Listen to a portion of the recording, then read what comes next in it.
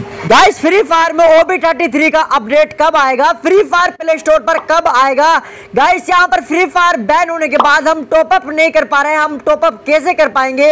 ये तो आपको पता होगा बट बट हम फ्री फायर में भी टॉप अप कर पाएँगे और हमारा फ्री फायर प्ले स्टोर पर भी वापस आ जाएगा। गरीना फ्री फायर ने ऑफिशियली कंफर्म डेट निकाल दी है। जानने से पहले अगर आपने एक लाइक नहीं किया है तो एक लाइक ज़रूर कर देना और सब्सक्राइब करके बेल नोटिफिकेशन को ऑल पे प्रेस कर देना। आने वाली वीडियो का नोटिफिकेशन मिलने के लिए सबसे पहले इस यहाँ पर पहले क्या होता था मैं आपको बता दू यहाँ पर हमारा फ्री फायर सात सौ बासठ एमबी में अपडेट हुआ था बट इनके बाद हमारा जो फ्री फायर है वो चार सौ एमबी में अपडेट किया जाएगा। ये क्यों किया जाएगा गई जो हमारी चाइनीज़ कंपनी थी टेस्ला उसी के साथ फ्री फायर का कोलेब्रेशन था और फ्री फायर ने उसको अपने पार्टनर से हटा दिया गया उसी के साथ साथ लेकर यहाँ पर फ्री फायर की तरफ़ से एक बहुत बड़ा अनाउंसमेंट कर दिया गया है। फ्री फायर ने अपनी वेबसाइट पर एक पोस्ट की है जो हमारा फ्री फायर है यहाँ पर हमें इंडिया में वापस देखने को मिल जाएगा बट इसकी कंफर्म डेट भी लिखा दी है कब हमें देखने को मिलेगा? गाइस फ्री फायर ने अपनी वेबसाइट पर यहाँ पर एक पोस्ट किया है जिसमें यहाँ पर लिखा है एक अप्रैल 2022 फ्री फायर वापस आ जाएगा प्ले स्टोर पर और ओबी थर्टी थ्री का अपडेट भी आ जाएगा।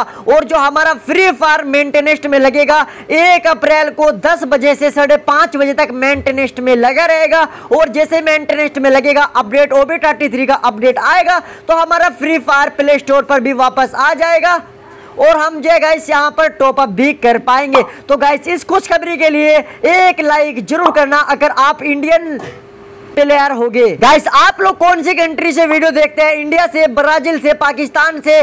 कौन से सर्वर से आप लोग वीडियो देखते हैं? तो हैश इंडिया ज़रूर लगा देना। कितने सच्चे Free Fire lover Indian players है जो हैश इंडिया कमेंट में लगाएँगे। जैसे ही मुझे कुछ अपडेट एंड लिंक मिलती है तो मैं नेक्स्ट वीडियो बहुत जल्दी बनाऊँगा। आप लोग सब्सक्राइब नहीं करते हैं तो नीचे लाल करके बटन दिख रहा है सब्सक्राइब करके बेल नोटिफिकेशन को ऑल पे प्रेस कर लेना। आने वाली वीडियो का नोटिफिकेशन मिलने के लिए सबसे पहले। आज की वीडियो में यही था। अगर आपको वीडियो अच्छी लगी होगी तो एक एक लाइक ज़रूर करके जाना। तो फिर मिलेंगे नेक्स्ट वीडियो में। जब तक के लिए बाय बाय जय हिंद, वंदे मातरम।